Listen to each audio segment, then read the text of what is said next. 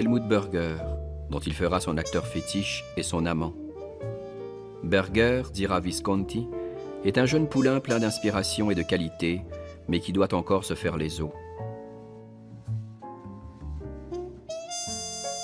Dressé par le cinéaste, il devient sa création et sa créature, à qui il fera incarner toutes les perversions.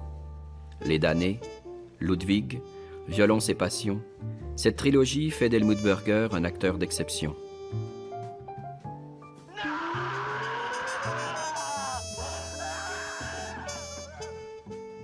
Après la mort du cinéaste, il n'interprétera plus que des rôles mineurs, souvent des gigolos abîmés par la drogue et l'alcool.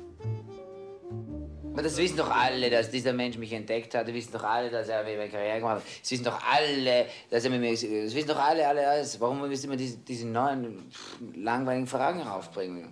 Wieso? Aber jetzt ist er nicht mehr da. Ich meine, Der ist nicht mehr da und so what? And so what, my dear? Was ich gesagt habe, life goes on. Ich weine allein in diesem Zimmer über ihn.